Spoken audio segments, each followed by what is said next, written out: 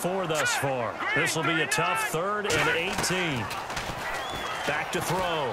Jackson. He's going to fire one deep, middle of the... And he gets into the end zone for the touchdown. So another score there. Often you talk about the three phases of the game.